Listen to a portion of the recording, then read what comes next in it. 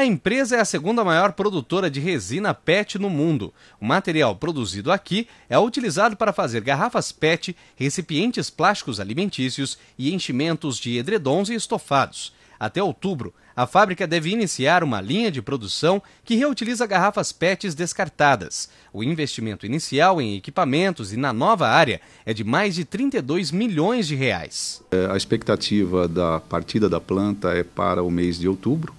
Diria, a partir de segunda-feira nós deveremos começar os testes em vazio, comissionamento de planta e está previsto para a segunda quinzena de outubro a gente já está em regime de produção comercial.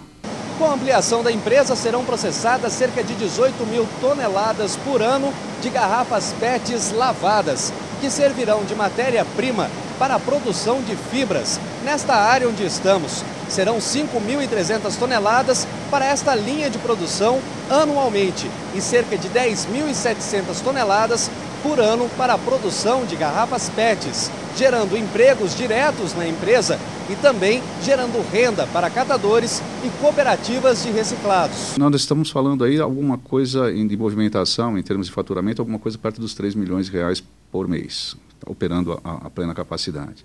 Em segundo aspecto, são 65 novos empregos, 65 novas famílias né, é, é, vivendo em função disso, e, e realmente a questão de que nós estamos removendo do, da, removendo as garrafas usadas e que, cujo destino, a maior parte delas hoje, estariam sendo encaminhadas a lixão.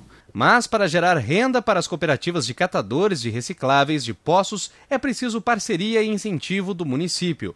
Para se ter ideia, das 900 toneladas de garrafas recolhidas, apenas 25 toneladas são de cooperativas. Mesmo assim, essas 25 vieram de uma cooperativa de um outro município mineiro que não Poços de Caldas. Né?